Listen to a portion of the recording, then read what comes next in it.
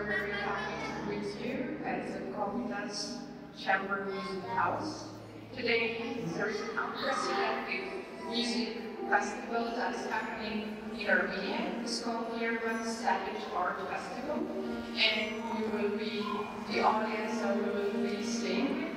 This has become a reality thanks to the National Center of Chamber Music, the Embassy of Netherlands to Armenia, the Composers Union of Armenia, and Land of Wisdom 301 Fund, Zagazur Culture and Millennium Combined, Champagne, Folk Art Museum, Medina Carpet Company, Common Ground Group, and the Spanish School of Music of School uh, in Europe, as led by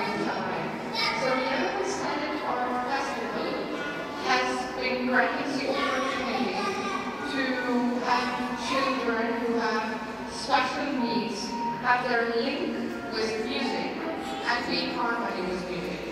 This is the unity and innocence of the motivation of art, together with coexistence of national, traditional, and experimental attitudes, including classical music, baroque, modern music, avant-garde, archaic music, and jazz.